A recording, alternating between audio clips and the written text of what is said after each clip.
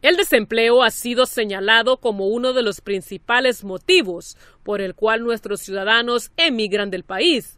Ante esto, la Secretaría del Trabajo ha relatado que muchos de los migrantes dejaron su empleo para irse en las caravanas. Desafortunadamente, al nivel de las caravanas, muchas personas que están empleadas eh, por la seguridad que puedan generar en ellos en su viaje o trayectoria, ellos acompañan, o sea que más bien dejan abandonados.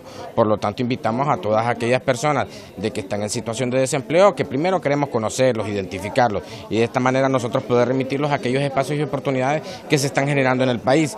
Nosotros sabemos que en la medida de las posibilidades de que formamos y capacitamos a más hondureños, en esa medida tenemos hondureños que pueden tener posibilidades de poder obtener un empleo digno y de esta manera poder generar ese ingreso que mejore las condiciones de vida para ellos. Tampoco descartan que el número de desempleados es incalculable y que de eso aún no se tiene control. Recordémonos de que estamos en un polo que afortunadamente tenemos la mayor cantidad de este tipo de industrias y del interior de la República vienen muchas personas que vienen buscando espacios y oportunidades, pero que desafortunadamente no tienen ese perfil o esa formación para poder desarrollar esas actividades de trabajo.